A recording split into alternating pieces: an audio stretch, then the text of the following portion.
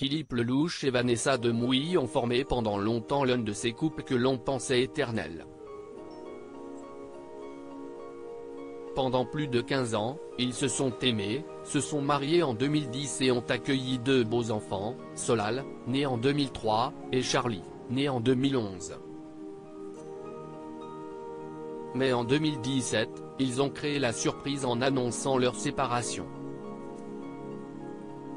Un coup dur à encaisser pour Vanessa de Mouilly, laquelle a souffert des infidélités de son mari comme elle le laissait entendre lors d'une interview pour le magazine Gala. Alors en phase de reconstruction, elle expliquait, Philippe et moi, nous nous sommes séparés. Comme je ne m'étais pas marié pour divorcer un jour, comme je me suis longtemps battu pour que mon couple résiste, cela n'a pas été facile à vivre. Il faut être deux pour le vouloir. Quand l'un des deux renonce, il faut trancher net. Point, je ne connais aucune femme qui accepte le cœur léger de ne pas avoir été l'exclusivité de son mari. Si Vanessa de Mouy était prête à continuer de tout faire pour que son couple se remette des épreuves difficiles, elle a fini par accepter la situation, pour ne pas s'oublier. Il ne faut pas que les concessions soient au détriment de ce que vous êtes.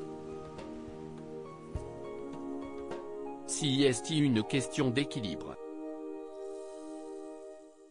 Point, souvent, les gens qui ont mon profil, hypersensible, volontiers empathique, ont tendance à s'oublier, et quand on s'oublie, on se fait mal forcément, analysait-elle avec lucidité pour nos confrères.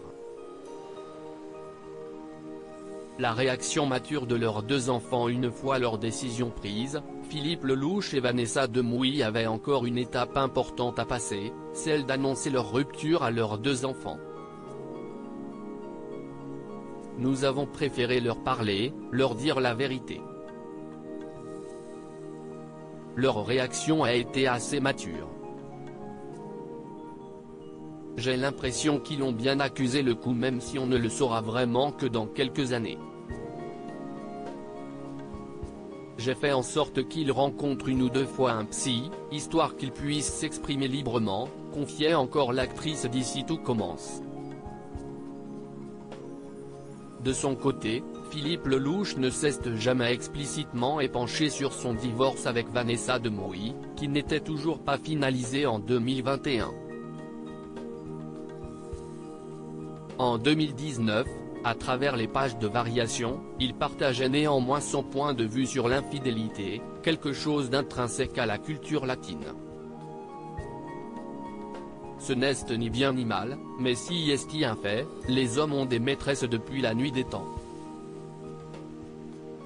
Il y a même certains hommes qui sont fiers d'avoir une maîtresse. Par expérience, je pense qu'être infidèle ne rend pas forcément plus heureux. Avouait-il. Depuis, le frère de Gilles Lelouch a rebondi auprès de Vanessa Boisjean, avec qui il eut une petite fille née en juillet 2018, il est aussi le père de Sam, né en 1995 d'une précédente union. Quant à son ex Vanessa de Mouilly, elle révélait avoir retrouvé l'amour en 2020 sans en dire plus sur son identité.